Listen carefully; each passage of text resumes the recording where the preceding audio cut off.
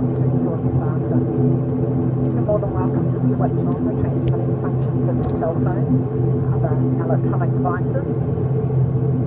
Just a reminder that these may not be used on the.